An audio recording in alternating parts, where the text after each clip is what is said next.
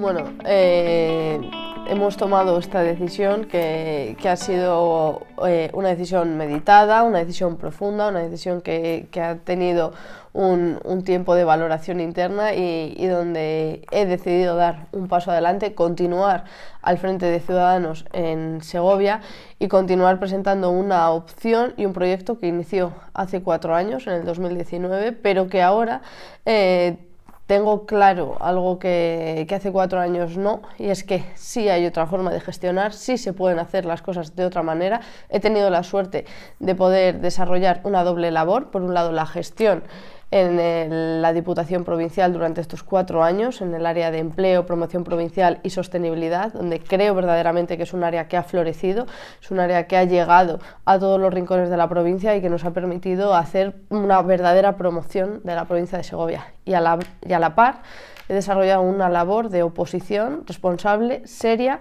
sin populismos y defendiendo los intereses de todos los segovianos en el Ayuntamiento de Segovia. Entonces, esta doble faceta que creo que, que, solo he representado yo en estos años, pues me, me, hace valedora o es el mejor aval que yo tengo para poder presentarme de nuevo a las elecciones. Entre elegir el camino más fácil, entre elegir lo sencillo o ser valiente y optar por esta, por esta decisión, he creído que es lo que hay que hacer, he creído que el cambio de Segovia urgente y que tanto necesita tiene que venir de la mano de quien sí tenga un proyecto, quien sí tenga un bagaje de servicios prestados hasta la fecha y quien sí tenga ganas de hacer cosas por nuestra ciudad. Me pregunta si el Partido Popular me ha llamado. No, no he tenido ninguna conversación con el Partido Popular, pero sí tengo que decirle que tengo muy claro que esta ciudad necesita un cambio en la forma de gestión, un cambio radical, una transformación de 180 grados y desde luego eh, Noemí Otero y Ciudadanos está dispuesto y capacitado a prestar este cambio que tanto necesita la ciudad. Creo que los problemas que tienen los vecinos del barrio amurallado de nuestra ciudad son muchos. Y entre ellos, eh, uno de los principales problemas y que se les ha creado a día de hoy por parte del equipo de gobierno del Partido Socialista es eh, toda la problemática vinculada con el arreglo del eje Daoiz, o sea, de la calle Daoiz, el eje eh, Alcázar Catedral. Y digo, es uno de los problemas creados por el Partido Socialista porque sabiendo y necesitando esta intervención integral en esta calle que es tan importante para, para, el centro histórico y tan importante para el turismo de nuestra ciudad, deberían haberla gestionado de otra manera, deberían haber contado con los vecinos para, valorar las distintas posibilidades y, por supuesto, deberían haber contado con las circunstancias de quienes están viviendo en, esas, en esa zona del casco histórico. Además de, de hay otros muchos problemas, como decíamos, problemas de abastecimiento, problemas que impiden eh, que tengan un día a día normal en cuanto a la falta de aparcamiento, a la falta de, de comercios en la zona y también están los los estudiantes del IE, que si en muchos casos pueden ser molestos por ciertas circunstancias, no podemos tampoco criminalizar a una comunidad de 8.000 estudiantes del Instituto de Empresa que está en nuestra ciudad, sino que creo que es fundamental buscar eh, una forma de colaborar, buscar una forma de desarrollar una, una sinergia entre el Instituto de Empresa, el Ayuntamiento, los, los estudiantes y los vecinos. Creo que existe la posibilidad de, de, vivir todos juntos y en armonía, pero para ello el Ayuntamiento tiene que liderar, tiene que ser proactivo y tiene que plantear soluciones que sean eh, favorables a todos los implicados. Algo que hasta el momento no ha hecho. Una vez más, el Partido Socialista ha estado poniéndose de lado, ha estado evitando solventar un problema que es para lo que está en el gobierno de la ciudad, para resolver los problemas. Y cada vez que hay un problema no son capaces de dar la solución. Por lo tanto, los vecinos del recinto amurallado tienen muchos problemas, muchos de ellos vienen eh, asociados al estar en una zona como la que se encuentran y tenemos que darles una solución desde, desde las instituciones, pero otros muchos tristemente están creados o fomentados por el Partido Socialista, algo que no puede permitirse. Es triste porque realmente eh, la tramitación de las sanciones que la Policía Municipal interpone, pues en muchos casos no llega a materializarse. Todas las conductas incívicas por parte de los segovianos o por parte de quienes visitan nuestra ciudad, en muchos casos no derivan en nada. Y esto tiene una doble lectura muy peligrosa desde nuestro punto de vista y es que la, impunidad puede ser posible en la ciudad de Segovia y es que el respeto a la policía desaparece. Una vez que un policía sanciona a alguien y esa sanción nunca se materializa, el sentir que tiene ese policía es una falta de respeto hacia la institución y la figura de la policía local. Y en ese sentido, desde, desde Ciudadanos, hemos estado trabajando y hemos estado recurrentemente instando al Ayuntamiento de Segovia que ponga eh, equipos de tramitadores, que ponga una tramitación efectiva de las distintas sanciones y una de las opciones que sería muy interesante y muy válida es que haya una oficina de tramitación, igual que ocurre en otros ayuntamientos, donde se centraliza la tramitación de las sanciones de toda tipología y temática. De esa manera nadie va a quedar impune, ninguna actuación incívica va a quedar sin una sanción y de verdad, de ese modo, la policía local será una institución respetada por todos. Bueno, la verdad es que es irónico que una actuación ejemplar y que ha sido valedora de un reconocimiento en el ámbito institucional en Castilla y León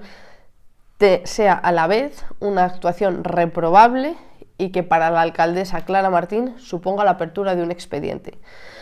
El saber que ese expediente eh, existe y se está trabajando en él ha sido una cuestión que ha trasladado a los medios de comunicación la propia alcaldesa, Clara Martín. Ninguno de los concejales de la corporación municipal, ninguno de los policías afectados por esta circunstancia tenían conocimiento previo de que esto estaba ocurriendo. Tampoco entendemos muy bien cómo puede ser que un suceso que ocurre el 8 de septiembre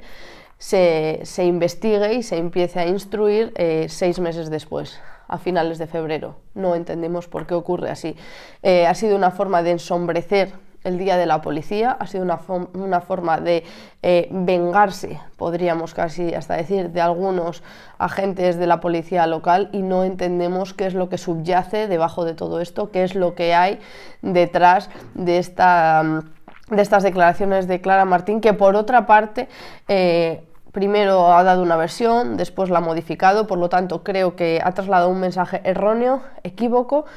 y que desde luego impide que la policía sea una institución respetada cuando la primera mujer de la ciudad, que en este caso es la alcaldesa, se permite el lujo de poner en tela de juicio la actuación de la policía local. Está haciendo un flaco favor a la institución y a los 108 agentes que prestan servicio en nuestra ciudad. Desde luego que desde Ciudadanos siempre han contado con nuestro respaldo, siempre han tenido nuestro apoyo y lo van a seguir teniendo, tanto con esta circunstancia como con todos los problemas que van acumulando en materia de personal. Hay horas extra que no se les están abonando, hablábamos de la tramitación de las sanciones que nos está realizando, lo cual para nosotros es bochornoso y al igual que hablamos de la policía local, hay otros sectores y otros colectivos en el Ayuntamiento de Segovia que están pasándolo verdaderamente mal porque están recibiendo un trato nefasto por parte del equipo de gobierno del Partido Socialista. Y puedo hablar de los bomberos, donde hay irregularidades constantes en la forma de, gestionar el personal, en la forma de, de, gestionar los turnos, los horarios, los equipos de trabajo. Puedo hablar de los trabajadores al servicio del ayuntamiento que están trabajando a través de de empresas adjudicatarias de grandes contratos, como son los urbanos o como son la, limpieza de, de nuestra ciudad, donde hay una inversión anual de más de 10 millones de euros donde hay más de 150 personas que trabajan por y para la ciudad y donde el Ayuntamiento de Segovia, cuando existen conflictos como están ocurriendo en estos momentos, se pone de perfil y en todo caso apoya sistemáticamente a las empresas sin fiscalizar y sin revisar que estos contratos se cumplan correctamente. Para nosotros es algo lamentable y bochornoso, porque el ayuntamiento y el equipo de gobierno del Partido Socialista, primero de todo, tiene que atender las necesidades de los segovianos, tiene que cuidar a su personal y tiene que ocuparse de que los servicios se, presten con las garantías y con las condiciones que se han contratado previamente. Mm, bueno, eh, respecto al, al vallado del AVE, creo que, pues como en todo, hay distintos problemas y distintas ópticas. Eh, recientemente hemos podido acceder al expediente, eh, no sin mucho insistir eh, y hacer mucha, mucha oposición férrea hasta que hemos conseguido acceder a la información y curiosamente la información es contradictoria, inicia las actuaciones el 5 de diciembre, terminan con un decreto de alcaldía del 10 de febrero hay un mes aproximadamente desde el 23 de diciembre hasta el 9 de febrero donde no hay ninguna actuación. Y si tenemos que decir que, a finales de diciembre, el 23 de, diciembre, se encarga de desarrollar este proyecto y, aparece que, tiene posibilidades de tener una información favorable cuando realmente al final el proyecto, o sea, la, solicitud que, que se tramita se considera desfavorable. Por lo tanto, para nosotros hay algo que no encaja y, justamente esa información pasa de ser favorable a desfavorable cuando aparece ante la opinión pública, cuando aparecen esos carteles de vallado inminente, cuando se solicita a los usuarios del, del AVE que dejen de aparcar en esa zona. Creemos que algo hay aquí detrás, creemos que una vez más el ayuntamiento, el Partido Socialista en la gestión del ayuntamiento de Segovia está actuando de una manera irresponsable, no está comportándose con la transparencia que merece un, ayuntamiento como el de nuestra ciudad y desde luego tenemos que seguir eh, investigando qué es lo que va a ocurrir con esta situación. Sobre si hace falta un aparcamiento disuasorio, hombre, pues desde Ciudadanos lo llevamos diciendo cuatro años. Y en el 2019, una de las primeras propuestas que se llevaron a pleno y que fueron aprobadas por unanimidad, porque, ojo, estaba en el programa electoral de todos los partidos políticos que concurrimos a las elecciones de 2019, fue la creación de un aparcamiento disuasorio. Cuatro años después, el Partido Socialista no ha movido un solo dedo lo cual es la demostración de su incapacidad de gestionar. Puede presentar planes, puede presentar proyectos, puede aprobar mociones, puede hacer un programa electoral maravilloso y lleno de propuestas, pero luego nunca las materializa. Esa es la principal cuestión y, donde radica todo, es que si no hay capacidad de gestión, no hay capacidad de sacar adelante los proyectos, de materializarlos, no tienes por qué estar al frente de, un equipo de gobierno, como es lo que está ocurriendo ahora, y está cada día más que demostrado. Entonces, respecto a la parcela del, AVE que pretenden vallar, creo que el propietario está en todo su derecho de vallar una parcela que es propiedad privada, en primer lugar, para evitar que puedan ocurrir accidentes y que él pueda tener que asumir cualquier responsabilidad, al igual que están en todo su derecho los usuarios del, AVE en poder tener un lugar donde aparcar y donde dejar el vehículo y al igual que tengo que decir que la alcaldesa sistemáticamente miente cuando habla de cuestiones referidas al AVE. El 1 de febrero anunciaba en sus redes sociales que gracias a, a todas sus labores y a sus trabajos junto con el responsable de Renfe había conseguido que se sinergien los billetes del Avant que es lo que tienen la plataforma de usuarios, con los billetes del AVE y con los billetes de Albia. Pues bien, esa sinergia duró unos días y a los pocos días empezó a haber fallos informáticos, a lo cual todos los dirigentes del Partido Socialista en esta ciudad, el señor Aceves, la señora Lirio, la subdelegada del gobierno, la señora Clara Martín, todos decían que se trataba de un error informático que iba a resolverse. Pues bien, ese error informático se ha resuelto por parte de Renfe diciéndole a los usuarios de, la band que evidentemente había habido un error y que es imposible y que es inviable que ellos eh, hagan una sinergia entre sus billetes de Avant con los del AVE y el Albia. Por lo tanto, esa implementación, ese aumento de las frecuencias es falso, no es una verdad. La alcaldesa volvió a mentirnos, volvió a hacerse una foto diciendo que cumple cuando no es así. Y por eso les digo que todo lo referido a las cuestiones del AVE, de las infraestructuras de nuestra ciudad, no tienen un verdadero apoyo del Partido Socialista, no tienen una claridad lo que principalmente está ocurriendo es que los problemas que tienen los usuarios que llevan ya acumulando los años no se han resuelto. No se han resuelto las frecuencias de los autobuses urbanos, competencia exclusiva del ayuntamiento. No se ha resuelto la mejora en los viales de acceso, competencia exclusiva del ayuntamiento de Segovia. No se ha resuelto la creación de un aparcamiento disuasorio en algún lugar cercano con una lanzadera hasta la band, como podrían ser los terrenos del inacabable CAT Todas esas son competencias exclusivas del ayuntamiento y no está haciendo absolutamente nada para avanzar en ese sentido. Por lo tanto, Clara Martín y el Partido Socialista no tienen credibilidad alguna en lo relacionado con las infraestructuras de, la ciudad de Segovia. Pues los problemas reales que tiene son muchos y, tienen que tratarse de manera urgente. Hay un problema fundamental con el urbanismo. Si no hay un urbanismo eh, exitoso en la ciudad, tanto en esta como en cualquier otra. El urbanismo define la forma de avanzar y de progresar de una sociedad, en este caso del municipio de Segovia. El urbanismo de Segovia lleva ralentizando y paralizando la ciudad los últimos 20 mm, años aproximadamente. Lo que ha permitido que otras ciudades de nuestro entorno, con un urbanismo más ágil, más moderno y más versátil, les haga avanzar, progresar, tener una mayor implantación de empresas, una mayor facilidad a la hora de, instalar negocios o de crear mm, edificaciones para vivir, ha hecho que en, Segovia se expulse a los segovianos y tengan que irse a vivir a municipios del Alfoz, porque es imposible tener un, un, domicilio mm, digno y a un precio asequible en la ciudad de Segovia, es imposible en muchos casos sacar adelante un negocio, tener una licencia de, primera actividad de, un negocio eh, para muchos emprendedores, para muchos autónomos, para muchas pequeñas empresas es un absoluto calvario y es imposible conseguir atraer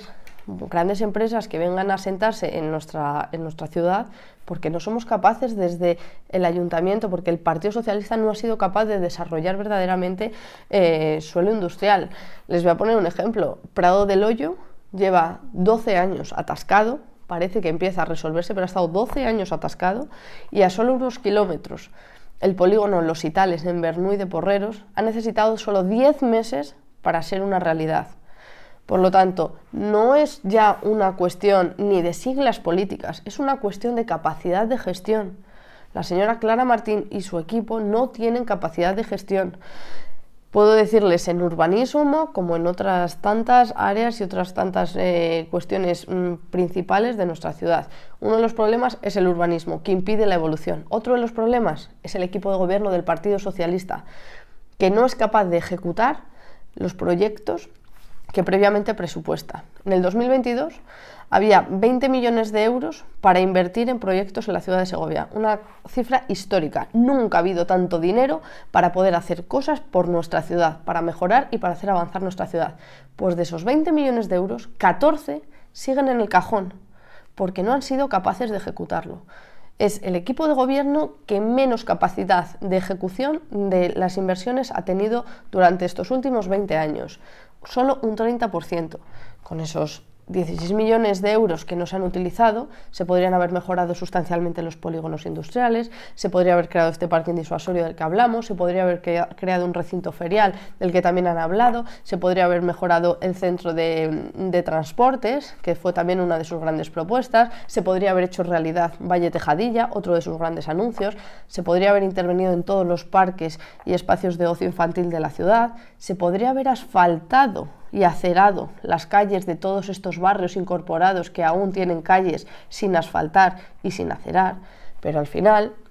lo que ocurre es que tienen que llegar a los últimos extremos los vecinos para conseguir sacar adelante sus pequeñas reivindicaciones históricas, como puede ser asfaltar una calle en Madrona. Tuvieron que presentar el proyecto a los presupuestos participativos, tuvieron que recibir con una pancarta a la alcaldesa en las fiestas del barrio para que por fin tomase en consideración una reclamación histórica. Por lo tanto, es verdad que Segovia tiene muchos problemas, pero creo que el principal y el radical es este equipo de gobierno. Si este equipo de gobierno desaparece y tomamos el rumbo de la ciudad desde un equipo de gente con ganas de trabajar, gente que vivimos el día a día de Segovia, que tenemos nuestras casas en Segovia, que pagamos nuestros impuestos en Segovia, que somos segovianos, como todos los vecinos a los que queremos em, ayudar en la gestión, podrá haber un, cambio verdadero. Si no, el urbanismo va a seguir siendo un lastre, el desarrollo de la ciudad va a seguir siendo un lastre, la ciudad va a seguir empantanada y llena de obras como está en estos momentos y a la vez, aunque suene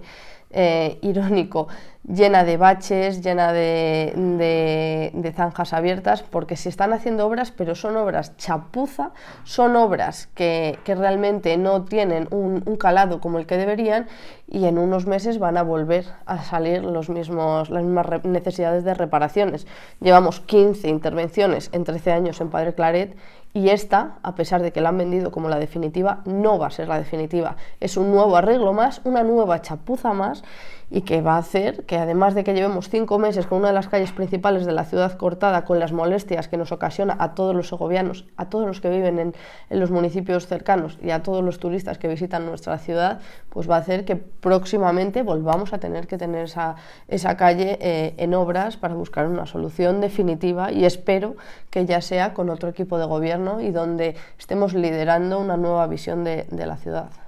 Pues los proyectos inmediatos que yo creo que hay que desarrollar es un cambio radical del urbanismo de la ciudad, un cambio sustancial en la forma de gestionar todo el personal que trabaja al servicio de nuestra ciudad, porque es muy importante eh, conseguir un rumbo positivo, que estén animados, que estén motivados, que sientan que su trabajo de verdad es reconocido y de verdad sirve para hacer a nuestra ciudad avanzar, porque es, es el equipo que, permite que Segovia siga adelante y avance. Hay que tratar con respeto, hay que cuidar y hay que eh, impulsar a todos los trabajadores municipales para que de verdad se sientan respaldados, se sientan respetados y se sientan queridos y puedan desarrollar su trabajo en condiciones dignas. En tercer lugar, creo que hay que hacer una serie de, inversiones urgentes, como puede ser el aparcamiento disuasorio, como puede ser el recinto ferial, asfaltar todas estas calles que verdaderamente es lamentable que en el 2023 haya calles sin asfaltar y calles donde no hay aceras. Por supuesto que habría que, que desarrollar algunas acciones ligadas a atraer empresas potentes a nuestra ciudad, porque al conseguir empresas fuertes permitirá que la gente de Segovia no tenga que marcharse fuera a trabajar, que venga gente nueva a nuestra ciudad a vivir, a disfrutar y a hacer que, nuestra ciudad sea un lugar eh, donde crezca la población y donde se genere riqueza y nos permitirá seguir avanzando. Si no, es inviable. Y en último lugar, yo creo que de verdad hace, hace falta cambiar eh, el rumbo de esta ciudad teniendo un proyecto claro, teniendo unos, unos planteamientos claros, sencillos y demostrando una buena capacidad de gestión. Y en este caso yo puedo demostrar que sí, sé gestionar correctamente, que sí sé cómo hacer florecer algo, que sí sé cómo mejorar sustancialmente eh, un proyecto, hacerlo crecer y hacerlo expandirse de manera positiva. Por tanto, la gestión que, he podido desarrollar durante estos cuatro años me sirven perfectamente para poder demostrar que sí hay otra forma de hacer Segovia y que estamos dispuestos a ello. Y es, muy claro y muy, muy evidente. Creo que, que, no se trata tanto de ideología, sino de forma de gestionar. Estamos eh, buscando resolver los problemas de nuestra ciudad, en este caso de Segovia.